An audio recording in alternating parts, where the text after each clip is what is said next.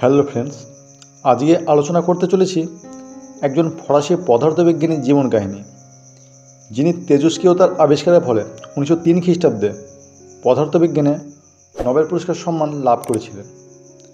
এই বিখ্যাত ফরাসি পদার্থবিজ্ঞানী হলেন হেনরি বেকারেল। তার নাম অনুসারে তেজস্ক্রিয়তার একটি এককের নাম রাখা হয়েছে বেকারেল। চলুন তাহলে এই বিখ্যাত পদার্থবিজ্ঞানী হেনরি বেকারেলের জীবনী সম্পর্কে একটু জেনে নেওয়া যাক। হেনরি বেকারেল জন্মগ্রহণ করেছিলেন ফ্রান্সের রাজধানী প্যারিস শহরে আঠেরোশো বাহান্ন খ্রিস্টাব্দের পনেরোই ডিসেম্বর। তাদের পরিবারটা ছিল ধনী পরিবার ও পূর্বপুরুষ থেকে তাদের পরিবারে বিজ্ঞান চর্চা প্রচলিত ছিল। তার পিতামহ সেজার বেকারেল ও তার পিতা এলমো বেকারেল পদার্থবিজ্ঞানী ছিলেন। তার মায়ের নাম ছিল অরেলি কেপার্ড। বিজ্ঞান চর্চার আঁতর ঘরে জন্মেছিলেন বলে ছোট থেকে হেনরি বেকারের বিজ্ঞান মনস্ক ছিলেন। ছোটোবেলার দিনগুলো তিনি বাড়ির ল্যাবরেটরিতে বেশিরভাগ সময় কাটিয়েছিলেন।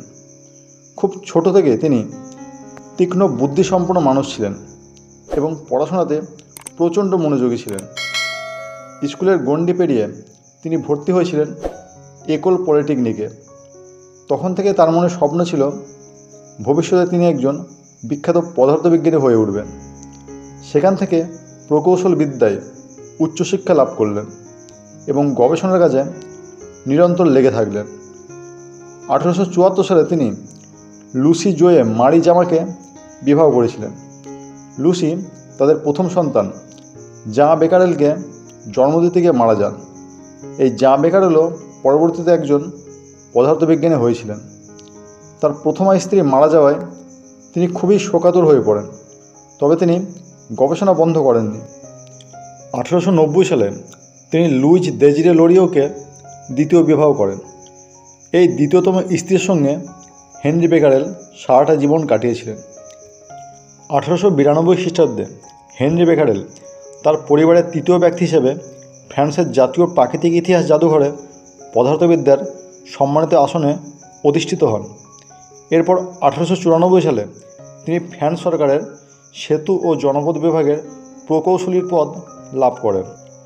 আঠারোশো ছিয়ানব্বই খ্রিস্টাব্দে বেকারেল ইউরেনিয়ামের লবণের দুটির ওপর গবেষণা করার সময় ঘটনাচক্রে তেজস্ক্রিয়তা আবিষ্কার করেন। এটি পরীক্ষার সময় বেকারেল পটাশিয়াম ইউরেনাইল সালফেট নামক দ্যুতিময় খনিজ পদার্থকে আলোকচিত্রের পাতায় লেপে দেন। এবং এর ওপর কালো বর্ণের আচ্ছাদন দেন, যাতে করে উজ্জ্বল সূর্যালোকে তিনি পরীক্ষা চালাতে পারেন। কিন্তু আসল পরীক্ষা চালানোর আগে বেকারেল দেখতে পান যে, তার আলোকচিত্রের প্লেটগুলো ব্যবহৃত হয়ে গেছে। এই ঘটনা থেকে তিনি তেজস্ক্রিয় বিকরণ সংক্রান্ত গবেষণা চালান। এই তেজস্ক্রিয়তা আবিষ্কারের ফলে হেনরি বেকারেল উনিশশো তিন খ্রিস্টাব্দে মারি কুরি ও পিয়ের কুরির সাথে যৌথভাবে নোবেল পুরস্কার সম্মান লাভ করেন। এই বিখ্যাত বিজ্ঞানী উনিশশো আট খ্রিস্টাব্দের পঁচিশে আগস্ট ফ্রান্সের লোক্রোজিক নামক স্থানে মৃত্যুবরণ করেন। মৃত্যুর পূর্বে তিনি ফরাসি বিজ্ঞান একাডেমি স্থায়ী সম্পাদক নির্বাচিত হয়েছিলেন।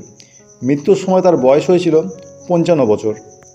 তার নাম অনুসারে তেজস্ক্রিয়তার আন্তর্জাতিক একটি এককের নাম রাখা হয়েছে বেকারেল, অর্থাৎ বি কিউ। চাঁদ ও মঙ্গল গ্রহের দুটি খাতের নামও তার নাম অনুসারে রাখা হয়েছে। তো এই হলো সংক্ষিপ্তকারে হেনরি বেকারেলের জীবন কাহিনী। তো ফ্রেন্ডস গল্পটি ভালো লাগলে অবশ্যই একটা লাইক করবেন আর চ্যানেলে নতুন হয়ে থাকলে অবশ্যই চ্যানেলটিকে সাবস্ক্রাইব করে পাশে থাকবেন। আর বেল আইকনটিকে অন করে রাখুন এই ধরনের নতুন নতুন ভিডিওর নোটিফিকেশন পাওয়ার জন্য। তাহলে আজকের মতো এই পর্যন্ত সবাই ভালো থাকবেন, সুস্থ থাকবেন। ধন্যবাদ।